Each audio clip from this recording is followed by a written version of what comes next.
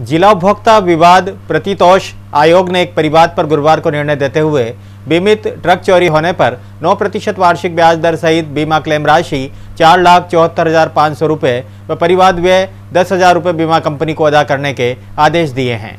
परिवादी Madan Lal proprietor, Swastik tyre company ने United India Insurance Company Kota के विरुद्ध परिवाद पेश किया था, जिसमें बताया गया था कि परिवादी के द्वारा खरीदे गए truck R J twenty, G 2379 को हायर परचेज एग्रीमेंट के अधीन फाइनेंस कर यूनाइटेड इंडिया इंश्योरेंस कंपनी में बीमित करवाया गया था। उक्त ट्रक को 16 अगस्त उन्नीस को कोटा से सरसों भरकर रेमुना उड़ीसा भेजा गया। जो रेमुना उड़ीसा से वापस नहीं लौटा, परिवादी ने अपने स्तर पर उसे तलाश किया।